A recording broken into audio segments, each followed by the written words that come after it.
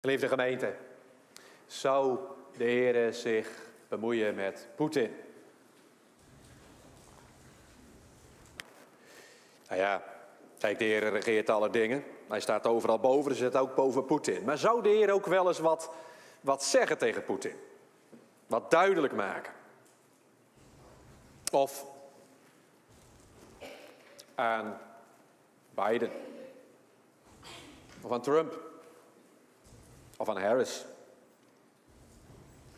Aan die mensen die zo belangrijk zijn en zoveel invloed hebben op de geschiedenis van de wereld, of invloed kunnen gaan hebben. Zou God hen wel eens iets bekend kunnen maken?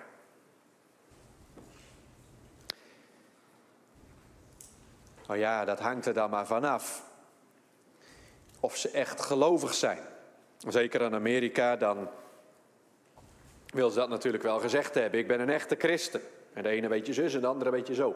Maar ook Poetin die zegt hij is de beschermer van de kerk. Maar als het nou echt is, ja dan misschien.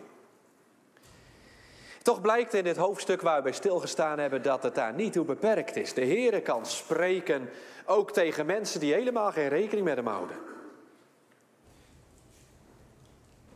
Als mensen misschien wel zeggen dat ze gelovig zijn, maar ze geloven niet echt. Dat betekent niet dat de Heer zich niet met hen bemoeit. Het is maar de vraag of ze willen luisteren. De Heere gaat evenwel zijn gang. De Heere doet evenwel zijn werk. Ook boven al die koningen uit. De vraag is wel of zij willen luisteren. Maar dat is tegelijk voor ons de vraag. De Heer regeert ook in ons leven. En ook als je de Heer niet persoonlijk kent, betekent niet dat de Heer niks tegen je zegt. Maar als de Heer wat tegen je zegt, dan is wel de vraag, wil je ook echt luisteren? We horen daar wat over vanuit Daniel 2, het gedeelte dat we gelezen hebben. Dus de tweede helft van het hoofdstuk 24 tot met 49. Behandelen dat gedeelte maar in één keer. Dus de droom, die Nebukadnezar droomde en de uitlegging daarvan. Daniel 2 vanaf vers 24. En daarboven staat Gods koninkrijk komt. Wat er dan ook verder met de aardse koninkrijken gebeurt. Gods koninkrijk komt. Drie gedachten. Vier gedachten. De koning en zijn droom. Als tweede, de koning en zijn rijk.